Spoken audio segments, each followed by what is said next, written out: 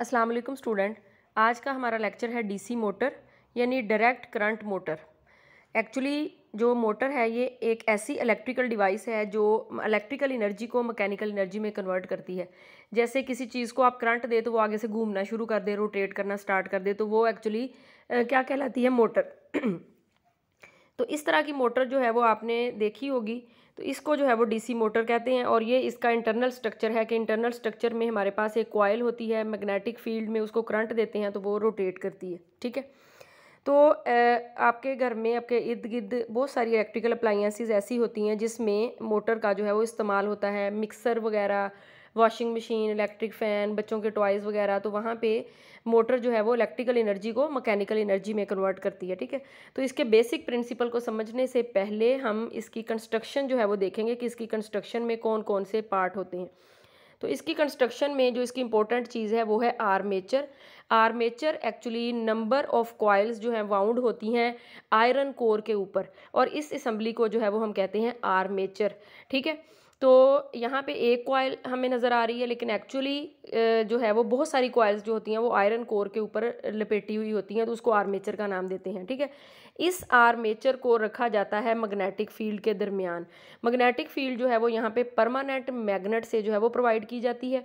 यहाँ पे permanent magnet की जगह पे इलेक्ट्रिकल इलेक्ट्रोमैग्नेट भी मैग्नेटिक फ़ील्ड प्रोवाइड करने के लिए जो है वो इस्तेमाल किए जा सकते हैं, ठीक है? उसके बाद जो है वो इस कॉयल को एनर्जी दी जाती है, यानी इलेक्ट्रिकल एनर्जी प्रोवाइड की जाती है बैटरी से। यहाँ पे जो इलेक्ट्रिकल एनर्जी का सोर्स जो है वो ये बैटरी है, ठीक है? उसके बाद जो है ये यहाँ पे ये जो स्प्लिट रिंग जो है वो नज़र आ रहे हैं येलो कलर के आपको। ये स्प्लिट रिंग एक रिंग का हाफ़ होते हैं हाफ़ जुड़ा हुआ होता है एक एंड के साथ कॉयल की और हाफ़ जुड़ा हुआ होता है कॉयल के दूसरे एंड के साथ और ये कॉयल के साथ रोटेट करते हैं। यहाँ पे ये जो स्प्लिट रिंग है, ये एज आ कम्यूटेटर वर्क करते हैं। ये हर हाफ़ रोटेशन के बाद कॉयल में करंट की डायरेक्शन को रिवर्स करने के लिए जो है वो इस्तेमाल होते हैं। उसके बाद जो है वो ये वाले जो है, ये वाले ब्लू कलर के आपको नज़र आ रहे हैं कम्यूटेटर के साथ लगे हुए। ये कार्बन ब्रशेस कहलाते हैं। कार्बन ब्रशेस एक्चुअली इस रोटेटिंग कॉयल और ये जो हमारा सर्किट है, जहाँ से हमने बैटरी लगाई हुई है, इस इलेक्ट्रिकल सर्किट के दरमियान एक इलेक्ट्रिकल कनेक्शन प्रोवाइड करते हैं। ठीक है? ताकि हमारी ये जो कॉयल जब रोटेट करे तो उसके साथ ये वाला जो सर्किट है, ये भी ना रोटेट कर जाए। तो ये एक स्टेशनरी जो है वो सपोर्ट प्रोवाइड करते हैं हमारे इलेक्ट्रिकल सर्किट को, जहाँ पे हमने बैटरी लगाई हुई है एनर्जी का सोर्स लगाया हुआ है, और ये जो आर्मेचर है उसके दरमियान, ठीक है? तो ये एक्चुअली हो गए मेन पार्ट के जिस जिसकी जो कंस्ट्रक्शन है मोटर की, वो इन यानी चीज़ों के ऊपर जो है वो मुश्तमिल होता है। उसके बाद जो है वो हम बात करते हैं इसकी वर्किंग की। तो एक डीसी मोटर का जो वर्किंग प्रिंसिपल है वो क्या है? कि जब एक करंट कैरिंग कॉयल को मैग्नेटिक फ़ील्ड में रखा जाता है तो उसके ऊपर जो है वो एक फोर्स अमल करती है। वो फोर्स टार्क पैदा करती है और उस टार्क की वजह से ये जो कॉयल है, ये ऐसे रोटेट करना शुरू कर देती है, ठीक है? ये वाली फोर्स जो है वो मैग्नेटिक फोर्स इसके ऊपर अमल करती है। तो एक्चुअली क्या होता है कि जब एक कंडक्टर के अंदर करंट होता है इस डायरेक्शन में तो हमने ये पढ़ा हुआ है कि उस कॉयल के, उस कंडक्टर के इर्द गिर्द जो है वो इस तरह मैग्नेटिक फ़ील्ड लाइन्स की मौजूदगी साबित होती है, ठीक है? इट मीन्स के जब एक कंडक्टर के अंदर करंट होता है तो उसके इर्द गिर्द मैग्नेटिक फ़ील्ड की मौजूदगी ये बताती है कि ये कंडक्टर एक मैग्नेट भी है। तो इस मैग्नेट को या इस करंट कैरिंग कंडक्टर को जब हम इस मैग्नेटिक फ़ील्ड में रखते हैं, यानी एक्सटर्नल मैग्नेटिक फ़ील्ड में तो एक्चुअली इस मैग्नेटिक फ़ील्ड और ये वाली जो मैग्नेटिक फ़ील्ड है, इसके दरमियान होती है इंटरेक्शन, जिसकी वजह से इस कंडक्टर के ऊपर जो है वो एक फोर्स लगती है, जो कंडक्टर को मूव करवाती है। ठीक है? तो एक्चुअली ये है बेसिक प्रिंसिपल और फोर्स क्या होती है? ये वाली F is equal to F I L B जिसमें आई जो है वो करंट है कंडक्टर या कॉयल के अंदर जाने वाला करंट है। एल जो है वो उसकी लेंथ है और बी जो है वो मैग्नेटिक फ़ील्ड की स्ट्रेंथ है। ठीक है, ये इन तीन फैक्टर्स के ऊपर जो है वो डिपेंड करती है। उसके बाद क्या हम कंडक्टर के ऊपर कंडक्टर जिस तरह से भी मैग्नेटिक फ़ील्ड में रख दें तो उसके ऊपर जो है वो यही, ये वाली फोर्स अमल करेगी। तो नहीं, हम कंडक्टर को, यानी ये हमारे पास कंडक्टर है जिसके अंदर करंट आई है। तो ये वाली जो है वो अगर मैग्नेटिक फ़ील्ड इस तरह से इस डायरेक्शन में है तो जब कंडक्टर के दरमियान और मैग्नेटिक फ़ील्ड के दरमियान एंगल 90 का होगा तो तब इसके ऊपर जो है वो ये फोर्स अमल करेगी। मतलब कि एक कंडक्टर को जब आप परपेंडिकुलरली मैग्नेटिक फ़ील्ड में प्लेस करेंगे तो उसके ऊपर ये फोर्स लगेगी आई एल बी तो इसलिए बेसिक ये होता है I L B sine of theta तो साइन नाइन्टी तो इसलिए यहाँ पे मैक्सिमम फोर्स यानी लिखी हुई है कि वो तभी अमल करेगी जब कंडक्टर मैग्नेटिक फ़ील्ड के परपेंडिकुलर पड़ा हुआ होगा। अगर कंडक्टर के दरमियान, यानी ये कंडक्टर है, और मैग्नेटिक फ़ील्ड के दरमियान जो है वो थीटा ज़ीरो हो गया पैरेलल दोनों हो गए तो ये फोर्स जो है वो फिर अमल नहीं करेगी, ठीक है? तो अब आ जाते हैं हमारी मोटर की तरफ़, जिसमें हमने आर्मेचर जो है वो एक यानी रेक्टेंगुलर कॉयल की फॉर्म में हमारे पास है।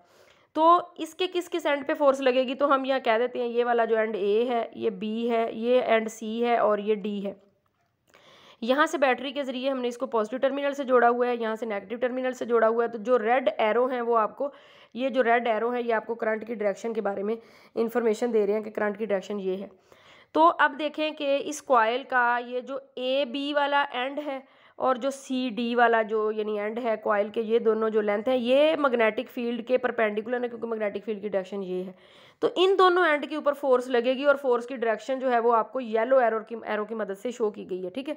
और मैग्नीट्यूड क्या होगी? आई एल बी और इसके बाद जो एंड होंगे, ये वाले जो एंड हैं, जिसको हमने यानी ये ए है, ये बी और ये सी डी तो ये जो ए डी वाला एंड होगा और ये जो बी सी वाला एंड होगा, इन दोनों एंड के ऊपर फोर्स नहीं लगेगी, क्योंकि ये दोनों एंड जो हैं वो कैसे पड़े हुए हैं? Along the direction of the magnetic field तो इसलिए इन दोनों एंड के ऊपर ये वाली फोर्स जो है वो नहीं लगेगी, ठीक है?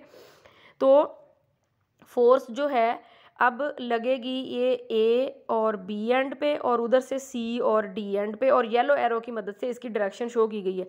फोर्स की मैग्नीट्यूड तो होगी आई एल बी ठीक है? तो इसकी डायरेक्शन हम कैसे मालूम कर सकते हैं कि अपवर्ड है डाउनवर्ड है? तो इसकी डायरेक्शन मालूम करने के लिए हम फ्लेमिंग का लेफ़्ट हैंड रूल जो है वो इस्तेमाल करते हैं। फ्लेमिंग के लेफ़्ट हैंड रूल की मदद से एक करंट कैरिंग कंडक्टर जब मैग्नेटिक फ़ील्ड में रखा जाता है उसके ऊपर जो मैग्नेटिक फोर्स अमल करती है आई एल बी उसकी डायरेक्शन जो है वो हम इजीली मालूम कर सकते हैं। तो यहाँ पे ये वाला जो है वो हमारे पास है फ्लेमिंग का लेफ़्ट हैंड रूल ठीक है? तो ये कंडक्टर है। इस तरह से मैग्नेटिक फ़ील्ड में पड़ा हुआ है। मैग्नेटिक फ़ील्ड की डायरेक्शन भी आपको नज़र आ रही है। कंडक्टर के अंदर जो करंट है, उसकी डायरेक्शन भी आपको नज़र आ रही है। तो अगर हम अपनी फोर फिंगर रखें मैग्नेटिक फ़ील्ड की डायरेक्शन में अपनी मिडल फिंगर या सेंटर फिंगर जो है वो करंट की डायरेक्शन में रखें। जो आपका थंब होगा वो फोर्स की डायरेक्शन को इंडिकेट करेगा, ठीक है? इस तरह से कंडक्टर जब परपेंडिकुलरली मैग्नेटिक फ़ील्ड के प्लेस किया जाएगा तो हम इन, इस फ्लेमिंग के लेफ़्ट हैंड रूल की मदद से हम करंट की सॉरी फोर्स की डायरेक्शन को जो है वो डिटर्मिन कर सकते हैं, ठीक है? उसके बाद जो है वो हम यहाँ पे अगर इसकी वर्किंग की बात करें कि जब मोटर वर्किंग करना शुरू कर देती है तो क्या होगा कि इस एंड को आपने पॉजिटिव के साथ जोड़ दिया, ये हमारा नेगेटिव है, इधर से करंट जो है वो जा रहा है, इधर से वापस आ रहा है करंट की डायरेक्शन तो ये वाला एंड जो है वो ए है, ये बी है, ये सी है, ये डी है। तो लेफ़्ट हैंड रूल की मदद से हम मालूम कर सकते हैं कि इस पर अपवर्ड फोर्स लग रही है, इस पर डाउनवर्ड तो क्या होगा कि इस एक्सिस के गिर्द मोटर इस तरह से जो है वो रोटेट करना शुरू कर देगी। करंट मुसलसल आ रहा है तो सारी सी बात है मोटर इस तरह से रोटेट करती जाएगी। ठीक है? तो कम्यूटेटर का यहाँ पे फ़ंक्शन क्या है? फॉर एग्जांपल ये कम्यूटेटर वन कह ले और ये टू कह ले। ठीक है? तो इसके लिए जो है वो अगर हम देखें ये कम्यूटेटर वन हो गया और ये कम्यूटेटर टू हो गया। वन जो है वो ए बी से अटैच है और ए बी में करंट की डायरेक्शन अपवर्ड है। टू जो है वो सी डी से अटैच है और सी डी में इस वक्त करंट की डायरेक्शन डाउनवर्ड है।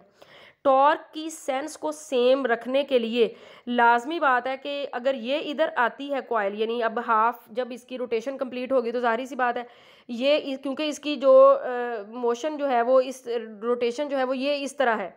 तो ए बी जो है वो सी डी वाली जगह पे आ जाएगी और जो सी डी है वो ए बी वाली जगह पे चली जाएगी।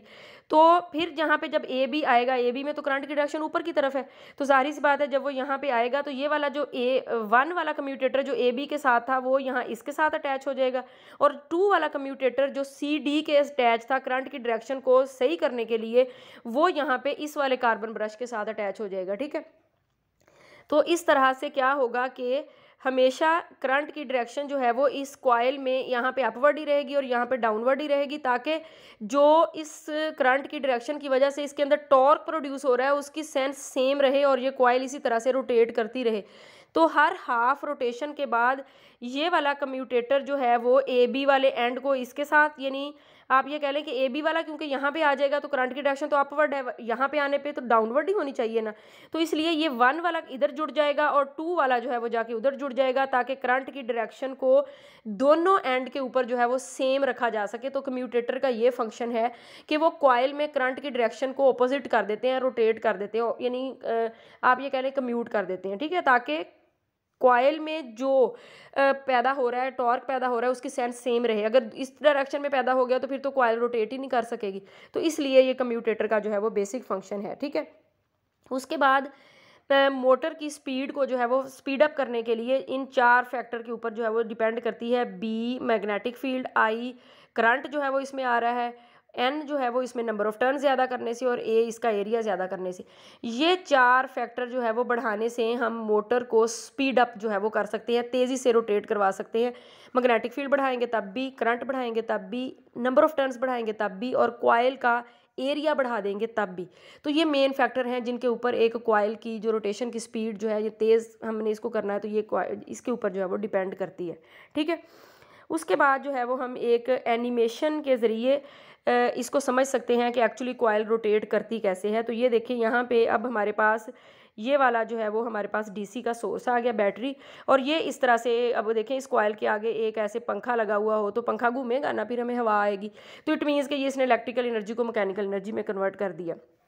अब लास्ट पे एक और इफ़ेक्ट जो कि मोटर में होता है, जिसको कहते हैं बैक ईएमएफ इफ़ेक्ट देखें बैक ई एम इफ़ेक्ट कैसे आता है? जब भी किसी कॉयल को मैग्नेटिक फ़ील्ड में रोटेट करवाया जाए देखिए कॉयल रोटेट तो कर रही है ना मैग्नेटिक फ़ील्ड भी है तो इसमें मैग्नेटिक फ्लक्स होगा। मैग्नेटिक फ्लक्स जो है, वो उसमें चेंज आएगा तो इंड्यूस्ड ईएमएफ होगी, जो कि बराबर होती है delta five divided by delta T के। जब भी फ्लक्स में चेंज आएगा कॉयल रोटेट कर रही है तो फ्लक्स में चेंज आएगा तो इंड्यूस्ड ईएमएफ जो है वो पैदा होगी और ये इंड्यूस्ड ईएमएफ इस बैटरी के ईएमएफ को अपोज करेगी। यानी इस वक्त इस कॉयल में जो नेट ईएमएफ होगी, वो होगी वी माइनस ई ये इसको अपोज करेगी। तो जैसे ही हमारी मोटर जो है वो स्टार्ट होती है तो क्या होता है कि ईएमएफ जो है वो ज़ीरो होती है तो उस वक्त मैक्सिमम करंट जो है वो जाता है, क्योंकि उसको अपोज करने वाला नहीं है कोई भी। तो उसके बाद जब मोटर स्पीड पकड़ लेती है तो ये जो बैक ईएमएफ है, ये जो बैक ईएमएफ है, ये भी मैक्सिमम हो जाती है। जब ये मैक्सिमम होगी तो ये करंट को जो है वो अपोज करेगी जारी सी बात है। बैटरी के करंट को तो कॉयल के अंदर करंट जो है वो थोड़ा कम होगा। लेकिन बहरहाल इतना होगा कि इस कॉयल को जो है वो रोटेट करवा सके।